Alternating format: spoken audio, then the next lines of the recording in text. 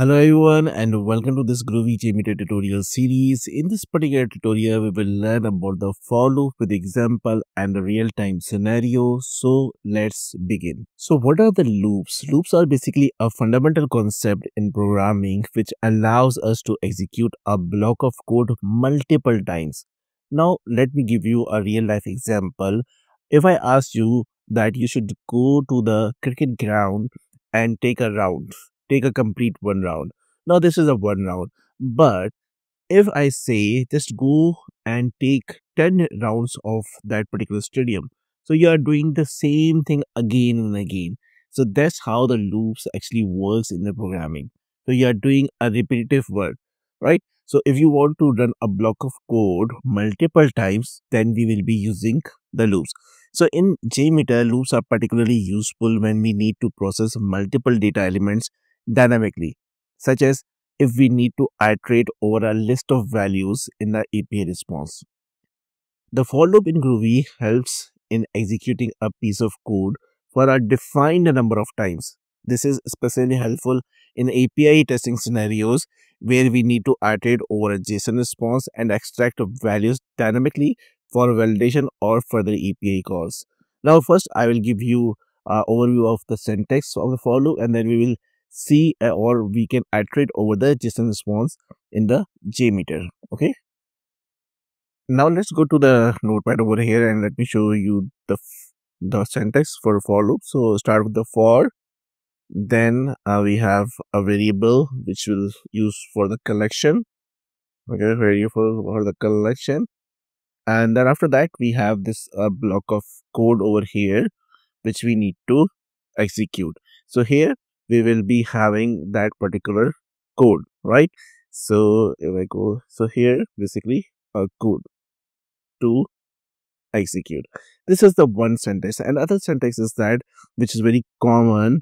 So basically, so for then you must have seen like int i is equals to 0 and then i is less than the for example 10 then i plus plus and then based on this one you will be executing your block of code. And again inside your for loop we have the code over here. So first one is really simple. Let's let me explain you the second one over here. So basically we are taking a variable and the initial value of the variable is zero. Now here we have a condition so condition is i is less than 10. So basically based on this condition, how many iteration we need to do. Just like I give you example that you need to take a 10 rounds of a cricket stadium, right? In the similar way, I am defining over here that this ne loop needs to execute when i is less than 10. And for every iteration, we are doing a increment so that we can go to the other iteration of the loop. Okay? Now let's uh go to the JMeter again and simply what I will do is that go to the test plan go to add go to thread group then go to add go to sampler then JSR223 sampler over here. And here we start writing a loop. Uh, but before that uh, what we need to do is that we need to open the API which we need to use. So we use this uh, application for the last demo. So we will be using same for this tutorial. So let me scroll down and here you see that we have this slash users. So basically uh, this api is returning all the users right? There's so much data right? So let me copy this data and let me go here. Now right click on this thread group. Go to add go to sampler go to http request here paste this one. And after the slash just copy this part from here and paste it here in the path remove this from here.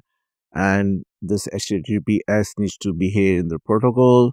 And remove the http from over here.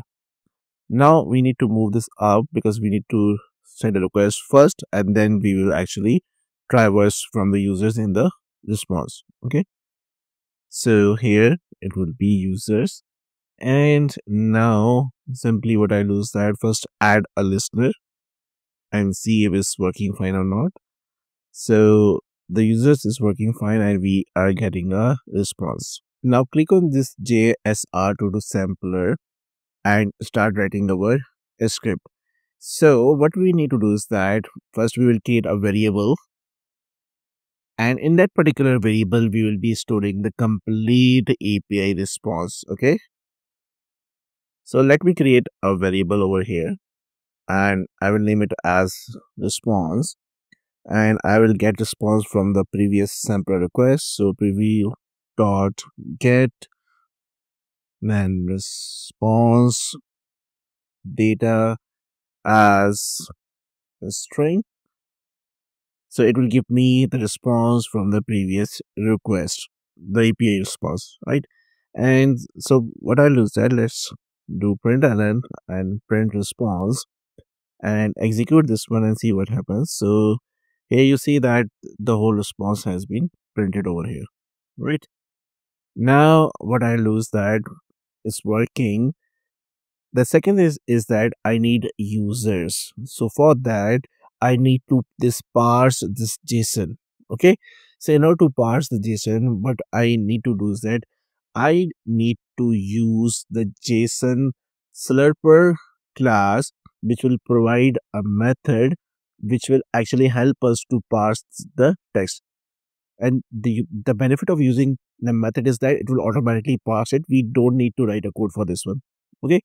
So in order to use that, what we need to do is that we need to import that first. So import and import groovy dot json dot json json and is s l u r slur per. Okay? S l u r p e r. Okay now, once we have imported this one, what we need to do is that we will be creating one more variable called users and say new, then say groovy, groovy dot json and we'll be using this one. So let me copy from here. And and from this class we'll be using a method called parse text and which needs to be parsed the data is coming in this particular variable called response. Okay?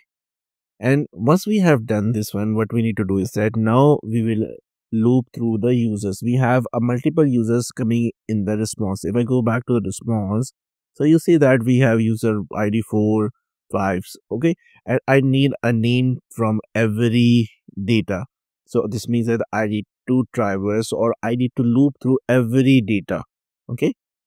So here for I will say a variable which is required and this is a collection where have we have a data and here simply I need to whatever I need to do. So for example, I need to log this info.